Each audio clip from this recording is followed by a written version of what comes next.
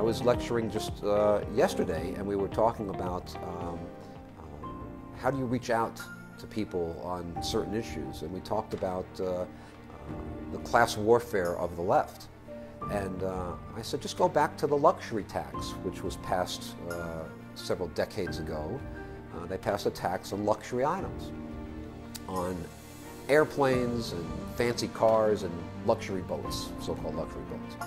The definition was a dollar amount. Yep.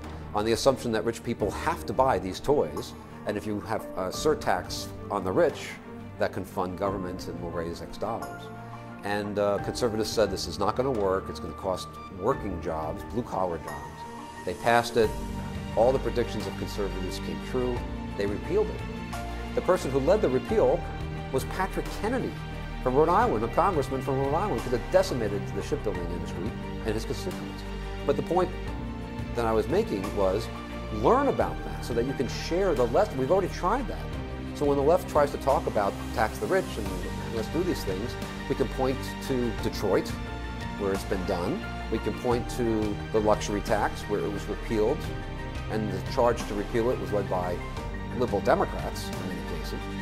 And uh, but Heritage has position papers on this. I mean, you need to learn, get the position paper that Heritage did on the luxury tax, the post-mortem on the luxury tax, and read through it so that you've got your facts. We don't have to overstate, exaggerate, be bombastic. We just have to state the facts.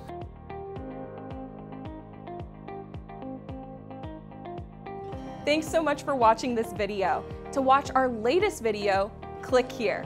And to make sure you don't miss any future videos, be sure to subscribe.